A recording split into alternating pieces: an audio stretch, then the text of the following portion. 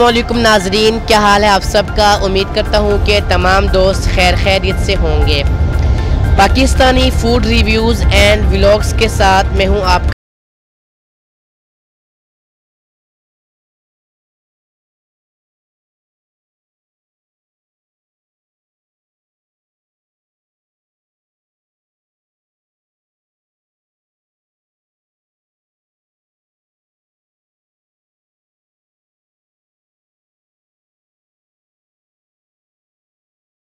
Test इतना मुनफरद है कि लोग दूर दूर से इनका पुलाव खाने आते हैं। हालाँकि कराची तक से इनका पुलाव लोग खाने आते हैं।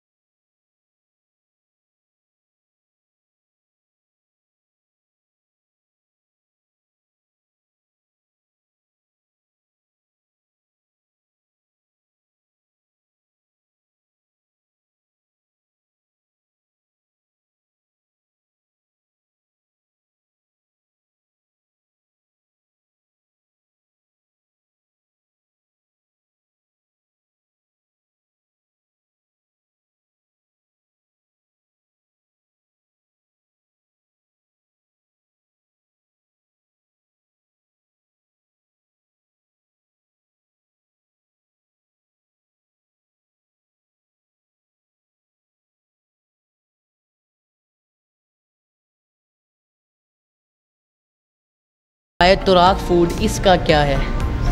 ये तुराब हमारा लोगो है और हमारा मकसद है कि किचन है तुराब फूड्स के नाम से जहाँ से ये सारा पक के आता है खाना हमारा।